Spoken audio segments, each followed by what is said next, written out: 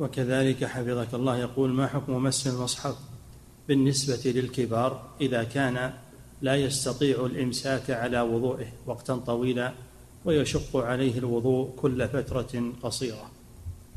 لا بد من الوضوء. لا لا يمس القرآن إلا طاهر. هذا حديث.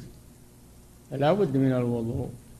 لكن إذا احتاج إلى قراءة القرآن وهو على غير وضوء أو كان يشق عليه الوضوء من وراء حائل يفتح المصحف ويقرأ فيه ولا يمسه إلا بحائل مثل مسطرة أو قلم أو يجعل على يده آه، شيء آه، يلفها به ويمس القرآن من وراء الحائل لا بأس. نعم. إعداد مشروع كبار العلماء بالكويت أعزها الله بالتوحيد والسنة.